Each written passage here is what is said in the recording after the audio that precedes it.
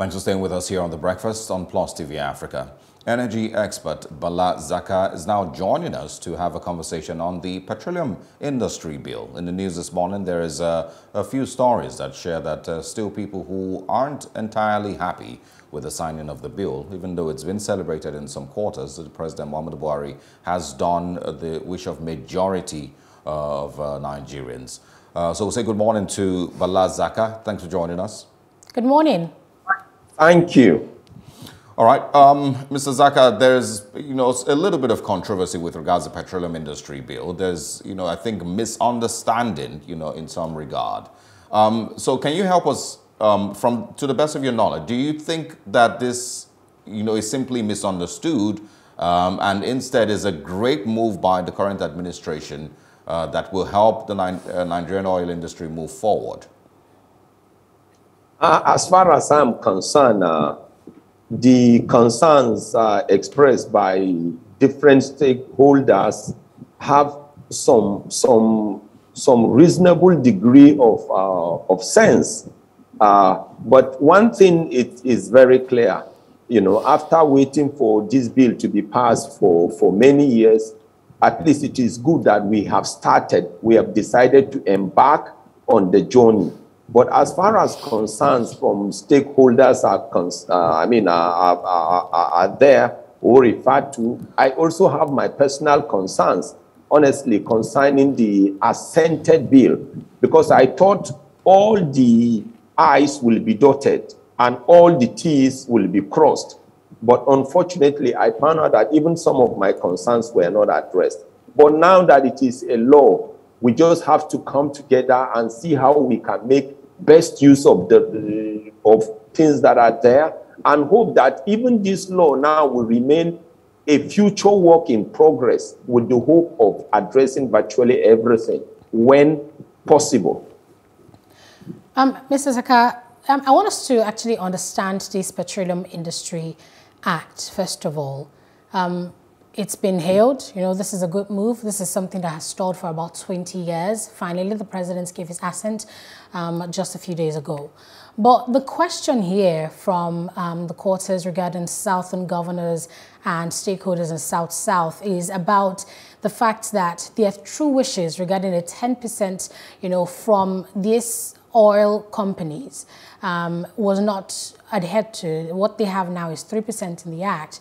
30% for you know derivation um, for exploration of oil in other parts of the country, especially in the north. So the, one of the biggest bones of contention here is that you know some stakeholders are saying that the bill um, basically gives um, moves to the government to take money from the south to look for oil in the north. Do you think that's a valid stance, or do you think that's something that just further divides us because you're looking at it now from an ethnic point of view, um, north versus south. Correct. You are 100% correct in your question. You know, as far as I'm concerned, you know, I told you I also had my, my own concerns. As far as I, I am concerned, even the definition of host community needed to have been looked into because personally, I feel a host community is supposed to be that community that is associated with the fiscal extraction of oil and gas.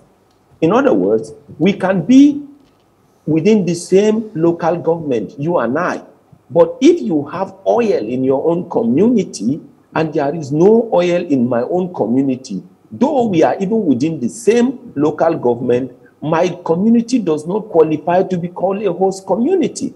But we also know that we have areas that depots have passed through, pipelines have passed through, and some of these areas are impacted by activities of oil and gas, whether the upstream activities or the midstream or downstream. Those areas need to be given their own unique explanation or definition, but not to lump everything and call them host communities. So even from the point of host community, I have my own concerns.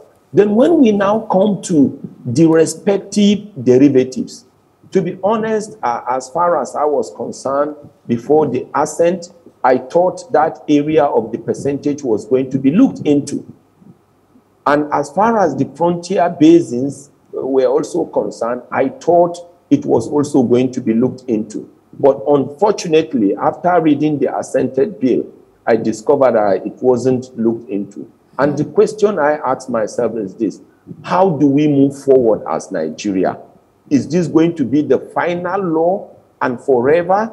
But I also console myself uh, with this feeling that even the holy books, like the Bible, the Quran, the Bhagavad Gita, and other holy books, are still even being questioned by, by humans. And that simply means even if what is contained in the holy books uh, is being questioned to a reasonable extent, the imperfection of this bill or this act now is likely to be addressed in the nearest future. That's my own consolation so, now. Mr. Zakka, do you think the major issue here is about the percentage of the of the money? Because for oil exploration is 30%, host communities are getting 3%. Do you think that where the conflict really is?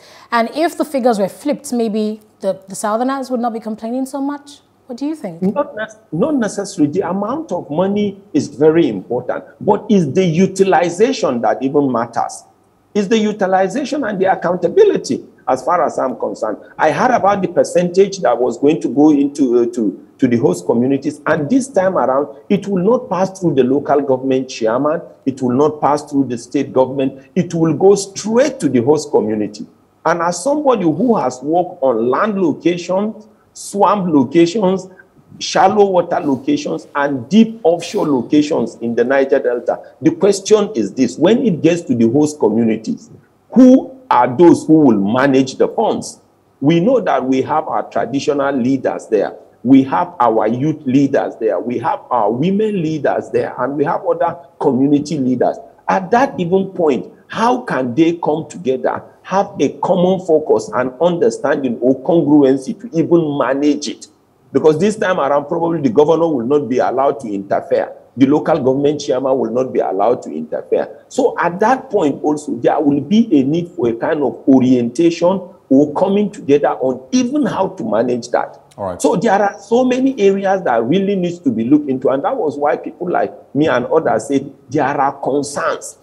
All right, Mr. Zakka. In terms of percentages, Already those ones we know there are imbalances, but we hope that with time they will be addressed. Mr. Zakka, I think it's also important to, uh, you know, that people understand exactly what these frontier basins are and where they are, if they truly are northern states like they have been described as, or they're actually, you know, in other parts of the country where Nigeria needs to also uh, look into oil exploration to improve our, or increase our um, uh, production. Uh, there's the Benin Owena um, um, River Basin. There is um, uh, the Sokoto Rima. There's the Niger Basin. There's uh, the Oshun Basin. There's Imo Anambra. And um, this doesn't necessarily mean northern states, um, but you know I think it's just a lack of understanding uh, as to what exactly it means. But I, I want you to also talk about um, the NNPC now. The bill supposedly is uh, meant to bring a better managed NNPC and you know, more transparency in the oil industry. How do you think that this will be achieved? Uh, let me start with the, with the basins first. When you talk about Nigeria, Niger geologically this time around, Nigeria has about six to seven basins. The first one, in terms, when we're not talking about fossil fuel or oil and gas, the first one is the prolific Niger Delta Basin yeah. you know, where you have the Niger Delta as the south-south. The second one is uh, a basin where you have Lagos axis. Recently, oil has been discovered, but that basin is called Dahomey Basin. You know, Lagos axis belongs to Dahomey Basin. Then once you leave the Niger Delta and you're south-south, you're going up north, you have what we call the Anambra Basin. Yeah. Some hydrocarbon trace or signs have been seen in the Anambra Basin. Then once you leave the Anambra Basin, then you have what we call Benue Trough into Gongola Basin. You know, recently with around Bauchi area and the rest, we learned that recently they made some discoveries, but I don't know the viability. Then outside that, you have what we call the Bida Basin. You have the Sokoto Basin and you have the Lake Chad Basin. Let's be frank as Nigerians, technically and geologically, those areas belong to the OI in the northern parts of the country. Because the, when you discuss about describe the north, anything after Benue State is being described as the north. So all those basins fall within. Including the, the, the Anambra Basin? No, Anambra, like I said, after Benue State or after Benue, Anambra State is definitely not part of. Uh, uh, Anambra Basin is definitely not part of the northern basins. But what needs to really happen is my understanding before now, when we were talking about those basins, was that we were going to go and carry out exploration activities to understand the overall fossil fuel potentials or oil and gas potentials that we have in Nigeria. Yeah. Then we will have that as a record. Then having that, we will now still remain with the Niger Delta Basin that is prolific and hope that in future, with future technology, the future generation will one day see the archives or the document containing the entire endowment of oil and gas in Nigeria. Then, depending on the technology, then, if it is going to be commercially viable, then they will explore for it, whether as local uh, investors or in, in, in collaboration with foreign partners. That was my own understanding. Because anywhere you are, you need to have an endowment of whatever you have, whether it is human potential, whether it is natural resources. That was my understanding in that area. Then when you were talking about the NNPC, as, as far as I'm concerned, two criteria must be fulfilled for this act to be viable. The first one is international acceptance and local tolerance. When we are talking about international acceptance here because crude oil and gas are international commodities. And those who need to come and really contract will include international oil companies or foreign companies. And if they don't buy into it, we are going to run into problems. Then, in terms of the local tolerance, of course, after agreeing with international oil companies, they will need to come here and explore or drill locally. What will be their relationship with the local communities and other Nigerians? So we just have to satisfy these two. Then you have other areas like I had, there may be deregulation, there may be removal of subsidy. Personally, I am against import focused deregulation.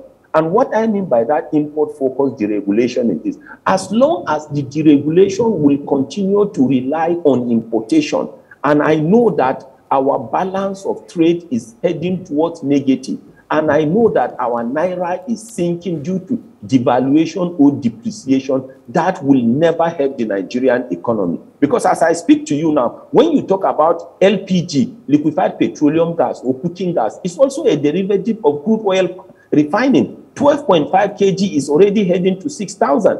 After, if you bring in uh, deregulation that is import focus dependent, it may get to 10,000. Diesel is already heading towards 300. If you deregulate and it is going to be based on importation, it may get to 400 or 500. We know what's happening to diesel, we know what's happening to kerosene. So we have to be very careful about that area. Okay. Um, Mr. Zakka, I also want us to address another bone of contention in this that seem to have been overshadowed by the concerns of the 3% and 30% um, sharing for you know the funds, the operating expenditure of these oil companies. And that's that the Petroleum Industry um, Act right now goes ahead to um, provide for the establishment of the NNPC Limited, the National Nigerian National Petroleum Corporation Limited. Uh, this is an offshoot of the NNPC, and it says that you know this will be owned by the federal government, the Ministry of Finance. But this is also something that you know is being antagonized. The Southern governor said, you know, that it shouldn't be. The ownership of this should be in the hands of the National Sovereign um, Insurance um, the NSIA. So I, I don't know what you think really about this. Are these just the question still remains, are these valid concerns? Do we really have a basis for that when we analyze it? Or are these just, you know, governors and stakeholders just trying to pick holes in the bill? Uh, please help us understand it. Well, uh, like what you are saying about National Sovereign Investment Authority, yes the concerns of everybody needs to be heard, even if they cannot be addressed today. Because one thing about concerns is this, it's good that they are documented because even the leaders of today have their limitations. The leaders of today will eventually expire. We have young people coming, we have children that may come up. During their time, the level of intelligence and technology may be better than what we have. So to that extent, we need to listen to the concerns. They may not be viable today, but they will be viable against tomorrow. Like personally, I'm telling you already that as far as I'm concerned, if they go into deregulation, the economy will further become prostrate. So instead of just throwing away my concern, why not document it and let's match it with time and see what will happen? Maybe with the fullness of time, I may be right. Even if I'm wrong, but it was good that it was, it was discussed rather than just allowing it to lie low, then future generation will start battling with the same concept and the same issues. So for me, listening to the concerns. Even if you can't solve all of them, document them. We may not have the answers today, but we may have the answers tomorrow. All right. So lastly, um, um, okay, well, yeah, lastly, Mr. Zakka, you know, regarding what you were saying that even if you might not go ahead to implement them, but these are things that we need to note down. You know, it's, you know, we need to note down what these people are saying, and that has been the major issue. You know, I've been saying since this PIB was passed, asking questions regarding why does it seem like laws are passed in Nigeria without the full consent an agreement without the full consonance of the public and people who are involved. Southern governors have their grievances against the ownership of the NNPC Limited. Host communities are also aggrieved. So why is it that we never had this, or it seemed like we never had this full consultation with every stakeholder involved, and that their, you know, their own grievances, their own concerns, you know, taken into account, maybe even adjusted before the House, the Senate went on to pass it, and and the President gave his assent. Why then is this so? Because what this means is that there's a, you know, you mentioned two criteria for this to be viable. You mentioned international acceptance and local tolerance. So right now it seems that the local tolerance, on the local tolerance front, it, it's not settled. So what this means is that in the next few years, there will definitely be continue to be debates about this, and the next talk will be amendments right. to the PIB. So why is it why why is this so, Mr. Zakka? Honestly, as far as I'm concerned, it is just because we are not nationalistic in our approach. Because if we are nationalistic in our approach and we see ourselves at, as one united country, all these things are not supposed to happen. That is the principal thing that, that, that, that I see. And it is very, very unfortunate. And that's why we keep saying that the leaders we have should not only be political leaders, they are supposed to also be very good economic managers or look for economic consultants and guides within Nigerians to guide them because they will always have a day with history. History will either forgive them or posterity will not vindicate them. Hmm. These are the things we need to know. We are here today. Nearly all of us may not be among the living in the next half a century. But the question is, what kind of legacy do we want to leave for the future generation to come? We will either be remembered for how we organize and fix the petroleum industry bill or act, or we will right, either be remembered people who disorganize and derail everything that has to do with the oil and gas industry. All right, Bala Zakka, we'll have to wrap up here. Um, we're completely out, out of time. But thank you very much for all the knowledge you've shared with us today, and thanks for uh, being a part of uh, the discussion. Thank you, Mr. Zakka. Have a great day. Thank you very much. Thank you, thank Absolutely. you, thank you. All right, and this is where we would be saying goodbye on a Wednesday morning. Um, you remember to always catch up on these discussions on our social media platforms. It's simply at Plus TV Africa on Facebook, Instagram, and our YouTube channel. Pretty much the same thing at Plus TV Africa and Plus TV Africa Lifestyle. I am Osarogie Ogbonmwan. And I am Aneta Felix saying bye-bye.